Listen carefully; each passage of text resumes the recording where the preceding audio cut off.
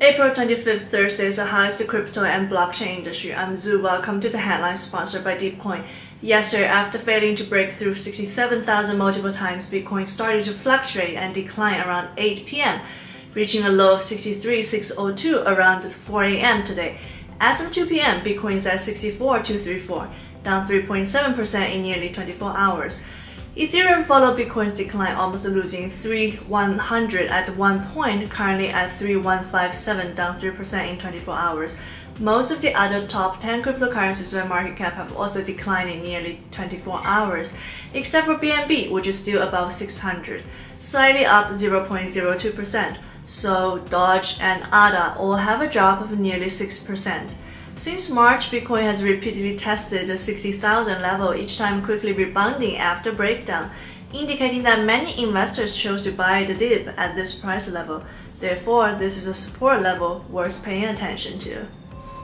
Since Bitcoin's rebound from the bottom of 59,000 on April 17th, the taker buy sell ratio has also seen a slight uptrend. But after entering above 1, the trend has been significantly hindered. Although Bitcoin's price continued to rise in the early part of last week, the taker value still failed to move up effectively and fell below 1 after Bitcoin's decline in the past two days. This also shows that most investors are bearish at present. When the market is rising, sentiment consensus is still needed, but when the market is failing, panic can be easily triggered, indicating that 64,000 is not an ideal level to buy the dip. Affected by the Bitcoin halving, miners' mining revenues have seen a significant decline, but the recent craze in Ordinals market has brought a ray of light to miners, allowing them to enjoy excess fee income. The halving of mining revenue has had an impact on the group of miners with older mining rigs, and there has been some selling sentiment in the market. In the past few days, miner reserves have declined from a high of 1.807 million Bitcoin to 1.805 million Bitcoin, a slight drop of nearly 2,000 Bitcoin. The overall holding amount remains at a relatively high level, and the sentiment of the mining group is still relatively stable without significant signs of selling. Compared to diamond hands who invest clinically, miners are truly a stable money printing machine in the crypto market. In the cryptocurrency world, the Bitcoin halving is always a heavyweight bomb, drawing the attention and speculation of countless people. First, let's review the history of Bitcoin halvings. Each halving has been like injecting new vitality into this virtual world. However, this vitality is not immediately apparent. In fact, after the halvings in 2016 and 2020, Bitcoin's price did not immediately skyrocket, but instead experienced a period of volatility. But in the long run, the halving did drive up Bitcoin's price. So what will be different this time? Coinbase, as a leading global cryptocurrency exchange platform, has provided an in-depth analysis of the market trend after the halving and the potential variables in the global economy. Let's take a look together. Coinbase believes that while the direct impact of halving on Bitcoin prices may be limited, the increase in Bitcoin scarcity it represents, along with the resulting boost in investor confidence, will be significant factors driving market uptrend. Coinbase sees stablecoin net growth as the primary means of injecting liquidity into altcoins. Stablecoins participate in 65% of the daily average trading activity of DEX, and overall stablecoin activity is nearing previous historical highs. Concerns about rising inflation have led to an increasing correlation between Bitcoin and gold in March and April, indicating Bitcoin's strengthening position as a sensitive macro asset in the absence of specific cryptocurrency catalysts, such as the approval of spot ETFs under the same condition, the Bitcoin halving simply like injecting a strong dose of adrenaline into the crypto world.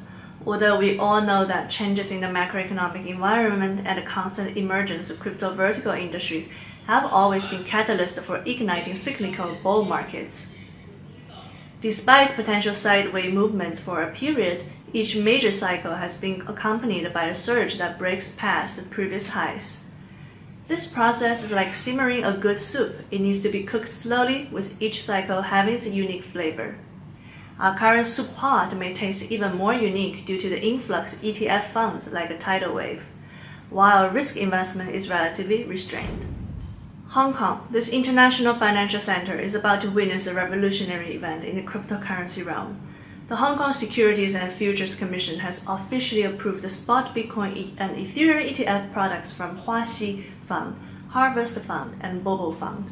This means that investors will be able to directly purchase these cryptocurrency spot ETFs through traditional securities accounts, enjoying the investment opportunities brought by the cryptocurrency market. Now, six Bitcoin and Ethereum spot ETFs are set to be officially listed and traded on April 30th, causing a huge stir among investors. According to analysts at Bloomberg, these spot cryptocurrency ETFs are expected to accumulate assets under management of approximately $1 billion within the next one to two years.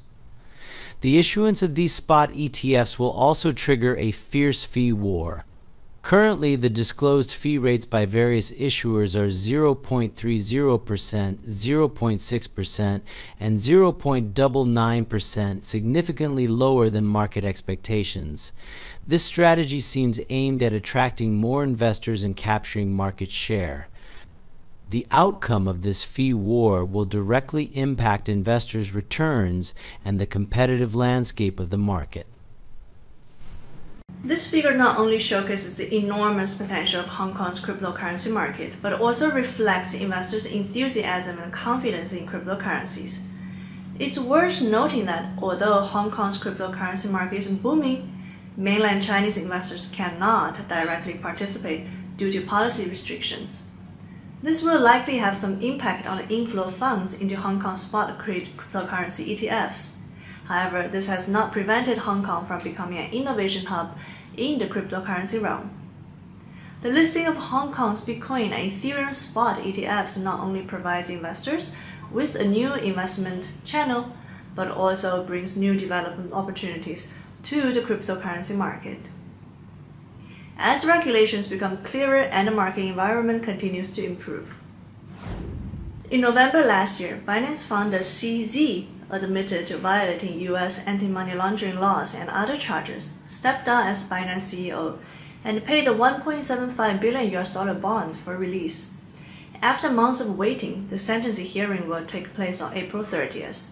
Since CZ pleaded guilty and cooperated, many legal experts believe he is likely to avoid prison time. However, some prosecutors argue that Binance's involvement in a Hamas money laundering case should be highly unfavorable for CZ. Now, with just five days until the sentencing hearing, CZ has appeared in the public eye with an apology letter in what seems to be a plea drama similar to SBF's case. Let's take a look. Just before the trial, Zhao Changpeng sent a letter of apology to Judge Richard A. Jones, who presided over the case. In the letter, he expressed regret for his wrong decisions and acknowledged the need to take full responsibility for his actions. In addition to his apology letter, there were 161 letters of support from family, friends, and others pleading for Zhao Changpeng. Among these letters, the mother of CZ's three children, He Yi, likened Zhao Changpeng to a guardian of the crypto wilderness and shared anecdotes of the children supporting their father, hoping that the judge wouldn't define Zhao Changpeng's character solely based on this incident. However, just as Zhao and his loved ones were making efforts to plead for leniency, the U.S. Department of Justice dropped the bombshell. They recommended sentencing Zhao to 36 months in prison and a 50 million fine. This recommendation is much harsher than the 18 months in prison Zhao was originally expected to face. In the sentencing memorandum, the Justice Department stated that Zhao's misconduct was extensive and consequential, making the increased sentence appropriate. In this plea drama, each of Zhao's apology letters and support letters serves as a bargaining chip in his defense, while the Justice Department's sentencing recommendation is a heavy blow, putting him in an even more passive position. Regardless of the final outcome, this storm has become an indelible mark in Binance history. What sentence will Zhao ultimately face, and what will become his Binance empire?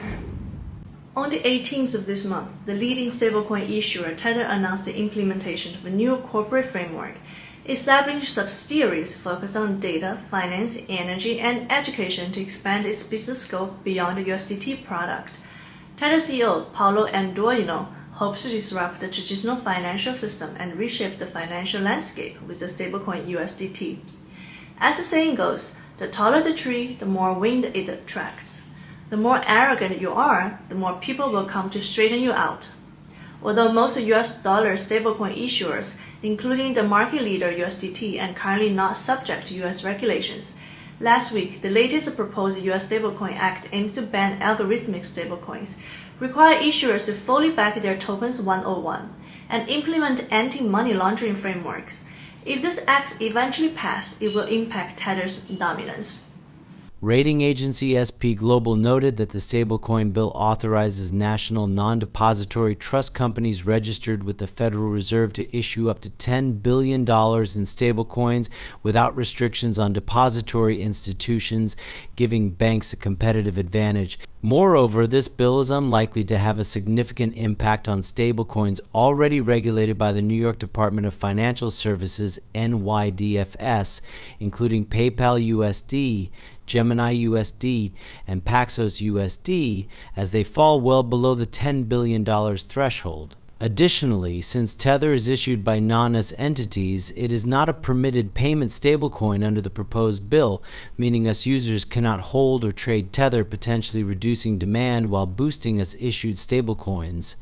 The regulation and the governance of stablecoins has been an old topic of discussion. The US has been talking about regulating stablecoins since 2021 and has drafted a stablecoin regulation, but it is still just talk on paper with no real hammer falling. This pace is really too efficient. Perhaps this time the Stablecoin Act is truly unfavorable for USDT. But given the efficiency of the US government's legislation and the speed of the regulatory agencies, who knows when the stablecoin market will be reshuffled? Just think about how the SEC has been dragging its feet on approving the Bitcoin spot ETF and then the Ethereum spot ETF. The US legislative and regulatory agencies work at the same time slow pace. The blockchain industry is developing rapidly, and if the regulatory agencies can't even keep up with the basic speed, how can they talk about regulation? Upbit trading volume accounts for over 80% of the total trading volume in South Korea, elevating its global CEX ranking to fifth place, on par with Coinbase. Data disclosed on the X platform reveals that Solana surpasses all other chains, including Bitcoin and Ethereum, in annual NFT blockchain user adoption rate, accounting for 33% and boasting 1.3 million blockchain users. Chain gaming studio Infinigods announced securing $8 million in series of funding exclusively invested by Pantera Capital. The number of traders on Ethereum's DEX has dropped from over 95,000 earlier this month to 63,000 last week, marking the lowest level of trader count since February. Recently, the first quarter transaction volume of NFT backed lending markets surpassed $2 billion, witnessing a continuous 44% growth compared to the fourth quarter of 2023.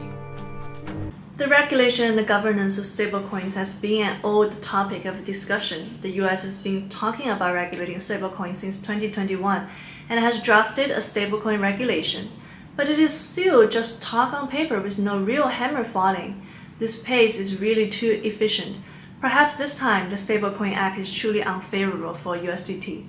But given the efficiency of the US government's legislation and the speed of the regulatory agencies, who knows when the stablecoin market will be reshuffled?